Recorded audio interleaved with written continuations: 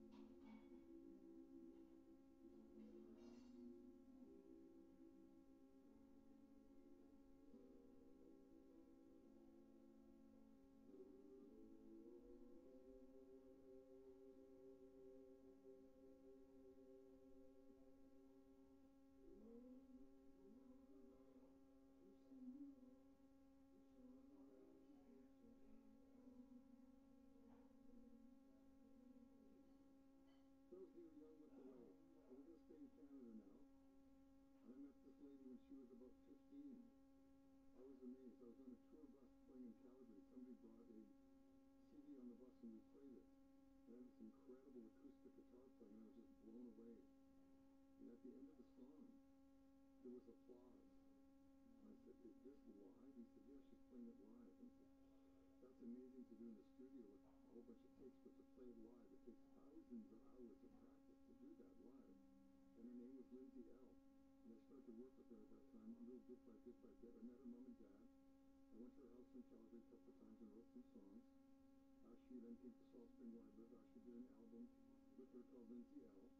She had many breaks and many disappointments in Nashville, but she told me her dream, and I told her how to get to her dream, and she made many, many, many sacrifices to get where she is now. Now she's on the edge being huge. She's the new Bonnie Raitt. She's the new Sheryl Crow, who writes, who sings, plays amazing acoustic guitar, plays blues guitar, plays incredible slide guitar, has been touring with Brad Paisley and a band for a long, long time, and she's about to bust it wide and wide open.